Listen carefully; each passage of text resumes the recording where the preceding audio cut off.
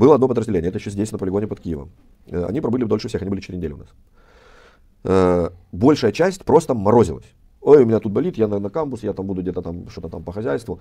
А мы тогда выделили э, штурмовую группу. То есть, ну, типа, кто здоровее, у кого травм нет, все, я говорю, давайте вы будете просто, не потому что вы будете штурмовать, а вы просто будете чуть больше навыков, чуть больше заниматься, у кого есть желание. И с ними я бегал там и ночью, то есть там был, конечно, ну, трэш серьезный, то есть они там серьезные, уставали, все, занимались. А теперь берем рота, ну, это подразделение выходит э, на Бахмут. Э, Штурмовиков было, которые остались до конца, потому что там было 15, э, трое отвалились, там кто-то по здоровью, ну, не вытянули. Вот их 12 было. Из 12 штурмовиков погиб один. Один погиб, причем пацаны сказали, говорит, он, ну реально, он отчаянный. Он отчаянный такой был на тренировках, и он выскочил там прям вот сам, ну то есть такая ситуация, он погиб. У рот, ну, у подразделения э, потерь было в районе 60%.